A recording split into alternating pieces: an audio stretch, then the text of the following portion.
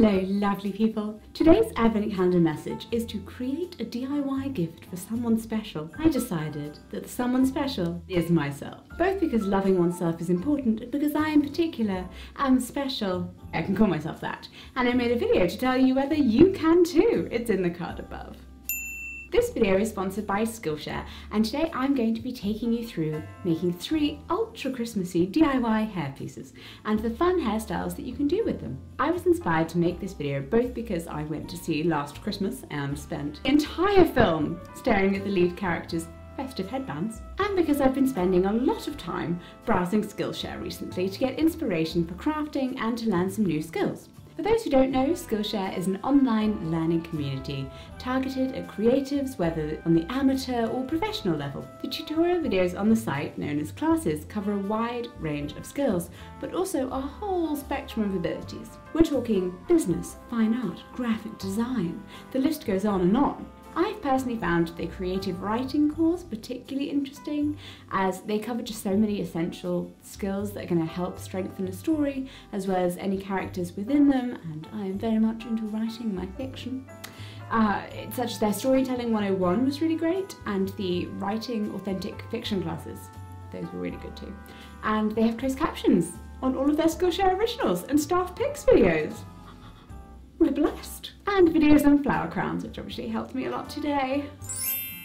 As a member of the Skillshare community, you also have the chance to give and receive feedback on projects through the creators community, which can be a really huge help to anyone who's learning a new skill or improving on an old one. With premium membership comes the benefit of unlimited access to all courses on their website, meaning you can find the course and the community that work best for you, whatever it is you love to do. Whether you want to fuel your curiosity, creativity, or even your career, you should join the 7 million plus people currently using Skillshare to further improve their skills. Skillshare is giving away a free two months unlimited access trial to any of my subscribers who click the link in the description box. And after that, it's only around $10 a month.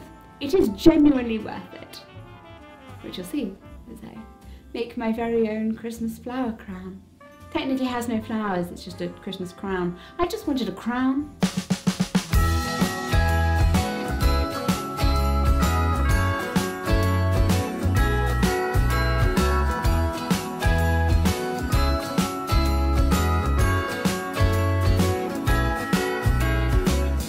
My childhood home had a huge fireplace the ceiling in my living room was probably 14 feet high and in the middle of the room was a fireplace wide enough for six people to warm themselves around. Above the fireplace was an antique cast iron double wall light in which we put candles and let stand alone as mantelpiece decoration. But in winter every year, with the trimmings from the Christmas tree, my parents would let me create elaborate, decorative foliage sculptures with wire and greenery above the mantel and it was one of my favourite parts of Christmas decorating. But since they moved house, I haven't had the chance to flex my wire and fir tree muscles, so I am very excited to be making this now. I measured my head and snipped some wire to length, later realising I should have made it twice as long. I lapped each cutting halfway over the next and tied a knot, with the wire leaving a little extra at the two ends so they could be tied together.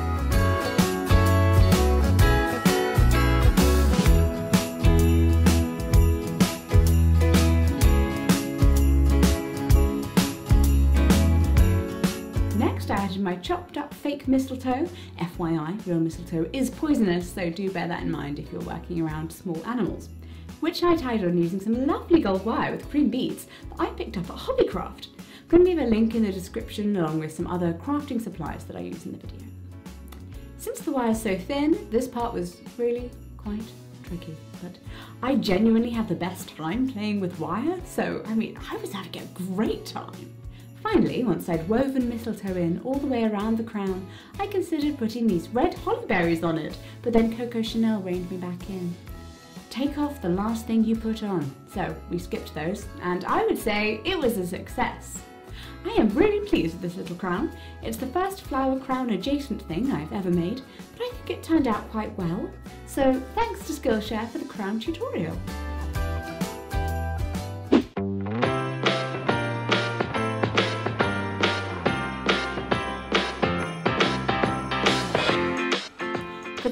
I really wanted to build upon one of my favourite winter hairstyles, the vintage roll. I don't tend to wear my hair up much during the warmer months, but I think it's lovely during the festive season. It's probably a little strange, as that's when your neck gets cold. I love fancy hair slides, but I really don't get enough wear out of them, so having one that only lasts a few days seems like a great and sustainable answer. I had a couple of plain slides lying around, again I will link similar in the description, so I just wanted to jazz them up for the season. And yes, that does mean using a lot of wire again, because wire is my friend. Remember to keep that wire tight as you twist it around.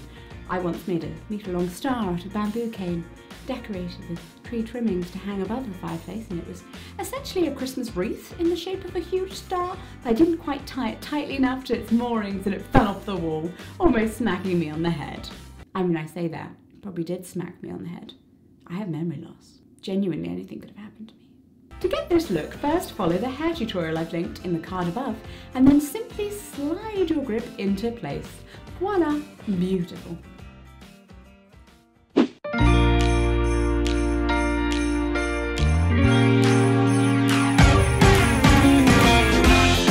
And finally, this look is deceptively simple and really quite cute.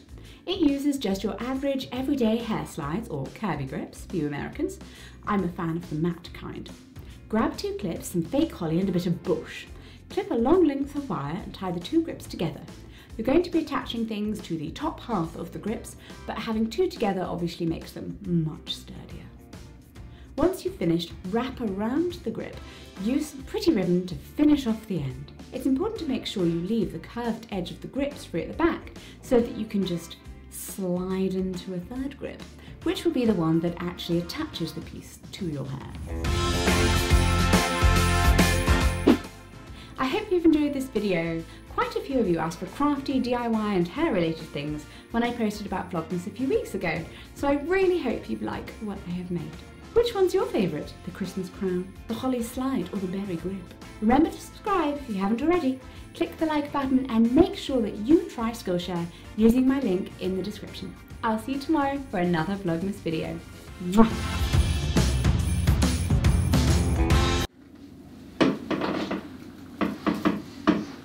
Spin slowly. Do you mean spin slowly so I don't vomit? Yes. That's fair, because that's probably going to happen really soon. The minute we stop filming this video. Focus on Jessica. Oh no, it's lost the face. There we go.